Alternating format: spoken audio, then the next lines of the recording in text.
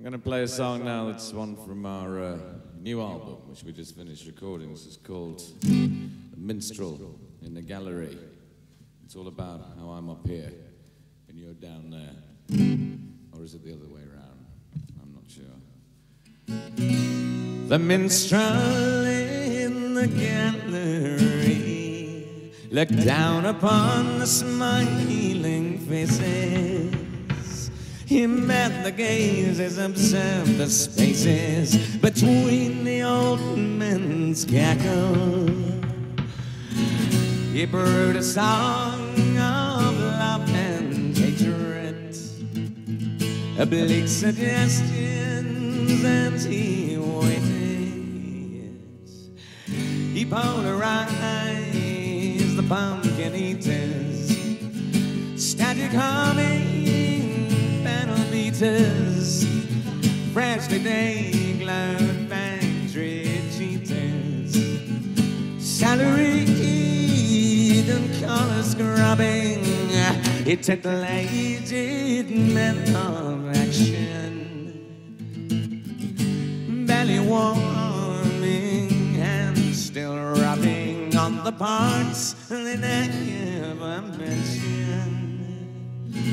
He pacified the nappy suffering, infant bleating, one-line jokers, TV documentary makers, overfed and undertakers, Sunday paper backgammon players,